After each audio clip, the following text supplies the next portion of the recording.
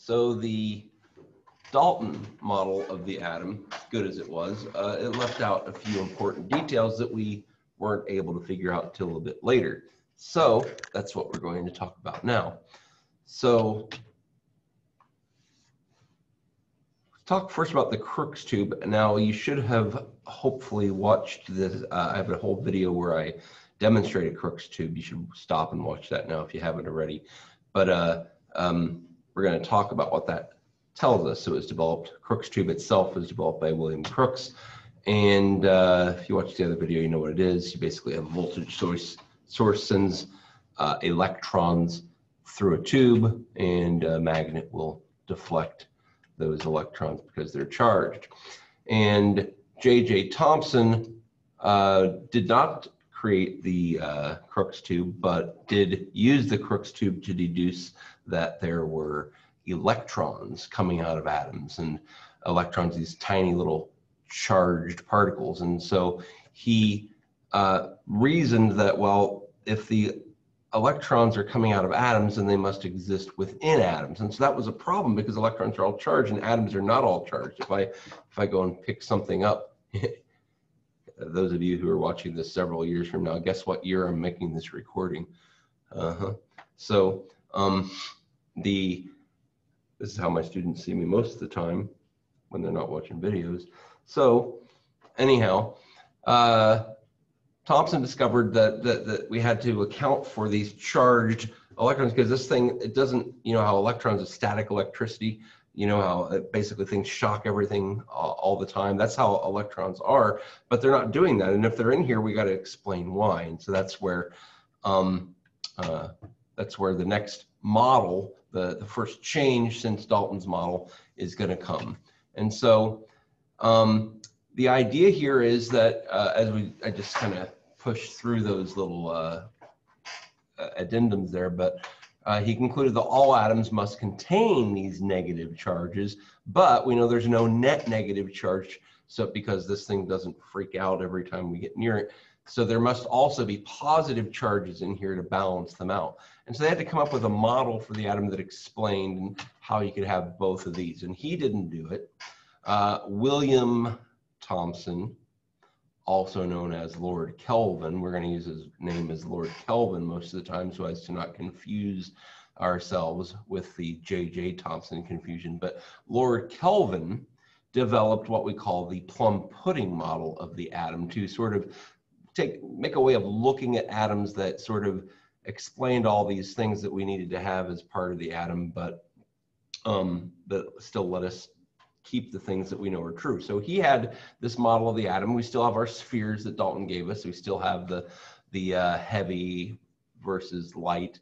Uh, there are no protons now. There are no neutrons. All we have are electrons. And so what he said is where the positive charge came from was he said the atom itself, the whole blue sphere here was positive overall. It was very positive, and all these little pink things, these little electrons, are inside of the positive sphere of cloud and uh, that they give it an overall balance of zero net charge. So the whole thing is neutral. You can, you know, it wouldn't shock you to touch it, even though the positive thing is in there and all those little negative things are in there, they're canceling each other out uh, because they're embedded through it. And we call it the plum pudding model uh, because this is a little bit like raisin pudding. Imagine raisin pudding, that little bread pudding with raisins in it.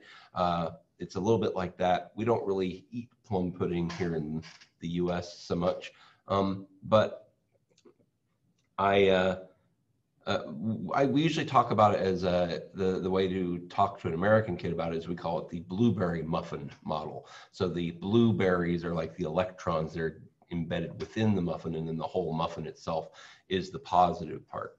And so uh, you might hear me call it the blueberry muffin model sometimes, but it was originally called the plum pudding model by Lord Kelvin. And this is our first major change in how we think about atoms since Dalton gave us the concept of the atom.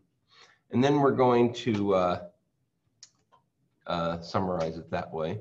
But it turns out that this is not the last we see of all the different models of the atom. And uh, even though the last one we're going to do this chapter isn't the last one, but it's the last, we're coming up to the last uh, model of the atom. That is the Thomson model of the atom. Um, oh, wait. that's what am I saying? I just messed up. That is not correct. Uh, that's still the, I, I, forgot there are all these slides. Uh, this is all the stuff I just said. write it down if you want. But there we go. That's the slide I was looking for. Ernest Rutherford. He's going to give us, uh, this is the last part of this, uh, this part of this chapter where we learn about the history of the atom. And uh, Rutherford actually studied under J.J. Thomson, so uh, they knew each other. He was Thomson was Rutherford's teacher, and um, uh, he noticed that there were these things called alpha particles. They didn't know what they were at the time, but he noticed that sometimes they got deflected by something in the air, and they weren't quite sure why. And so they decided to discover it, uh, or to study it rather. And uh, he devised the gold foil experiment. This is a pretty famous experiment experiment of science uh, that you will probably remember about for a while. And so here's how it basically uh, worked. So you had a radioactive substance and it would shoot off these alpha particles we just talked about. And uh, they would shoot through this little tiny, tiny thin layer of gold foil, really, really thin, just a few atoms thick. And uh, then you had this uh, fluorescent screen covered with zinc sulfide.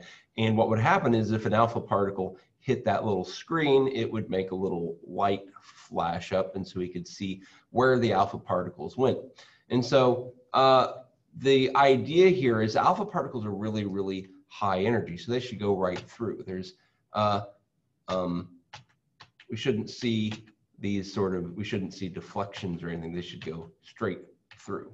And so uh, here's another way to look at it, uh, different simulation.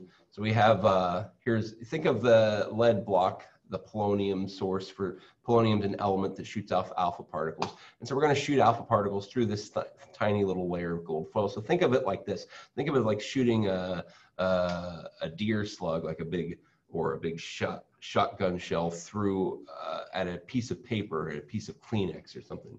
You would expect that it would go right through. And so the screen here is to uh, allow us to see what would happen. So we expect them to go straight through without changing direction because the positive part, remember this is what we're doing is we're kind of looking at that plum pudding model of the atom. We're seeing if it was right. So he had this idea, this idea, the plum pudding, we didn't say it so much, but that positive charge spread out over so area, so much area made it not very dense. So it's kind of like a spongy, like foam, like you should be able to punch right through it. Um, so they shouldn't be able to stop an alpha particle based on what they knew at the time. So we expected whenever they would shoot this little uh, alpha particle for it to go straight through and for only uh, a flash to happen right here at the edge.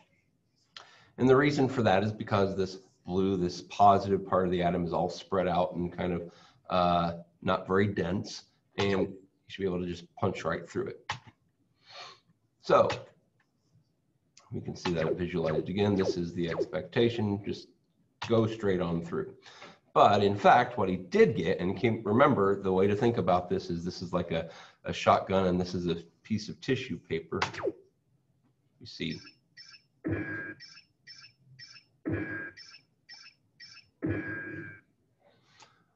Weird stuff. When you shoot a uh, shotgun at a piece of tissue paper, you do not expect uh, for the uh, shot or the bullet, if you're shooting a bullet, to uh, um, to deflect, or you certainly wouldn't expect it to uh, come back at you in any way. So that didn't make any sense at all. So what this told them, this is completely unexpected, and this told them that the way that they were thinking about the atom was wrong. So since um, so they came up with this idea. This is in words. It's going to say it in a picture here in a second. Um, they figured out that since most of the things went through, it had to be empty. The atom was basically empty, but every once in a while there had to be something hard enough, heavy enough in the center that it could deflect. Uh, and so it had to be small and heavy, so it had to be very dense. And they gave this dense little piece uh, the nucleus. And this doesn't make any sense. Just wait, the picture will help explain it. So here's the idea. Under the plum pudding model, you expect those alpha particles to go straight through. Uh, but under the uh, nuclear atom, see how we take the, the whole positive part of the atom is not spread out anymore. Now it's all contained in this tiny little nucleus. So as the alpha particles come through here, most of the time they go right through. But if you should be lucky enough to hit that tiny little heavy dense thing, you're going to get a deflection. And we can actually see that uh, um, on a, a, simulation that we have here. So here's a simulation. Here's our gold foils. We're going to see a uh, bunch of alpha particles come through. And you see that the average alpha particle is not going to hit one of those tiny little nuclei. So the, the nuclei that are the positive parts that will bounce it off are these tiny little dots in the center. And so um, most of them will go right through. But if one of them comes in and happens to hit one of those tiny little nuclei, it will be deflected. And so that was the idea. This is the way that they explained that experiment. And so um, that gives us uh, the summary. So that is our last, the Rutherford atom. Um, sometimes we call it the nuclear atom. Sometimes we'll even call it the planetary atom. That you might remember that graphic from the beginning of the first video with all the little electrons going around. Uh, that's kind of the beginning of the. Uh, it's kind of Rutherford started all that with the idea of the electrons were were. We didn't talk about the electrons, but the electrons uh, in this model are going around the outside of that nucleus, and it's really really tiny. That nucleus is unbelievably tiny. It's hard to process how tiny it is. So the way to think about that is if this entire atom, if this entire uh, circle here that we see that is an atom, if that were like the size of a, a big football stadium, soccer stadium, baseball stadium, like, uh, um, uh, then then the nucleus would be the size of like a tennis ball down in the middle of the field. And so the, the nucleus, the mass, the mass part of the atom is concentrated in this tiny little nucleus uh, in the center, and it's almost completely empty space. The atom's almost completely empty, and so that is the uh, that's the Rutherford atom. That that nucleus, that heavy part, is real little, and the rest of the atom is really big. So this is not drawn to scale. The nucleus would you would barely be able to see the nucleus if this were drawn to scale. And so just give you a quick summary of all the models that we went through here. We had the Democritus model, which wasn't really a model at all. Why? Well, he just made it up.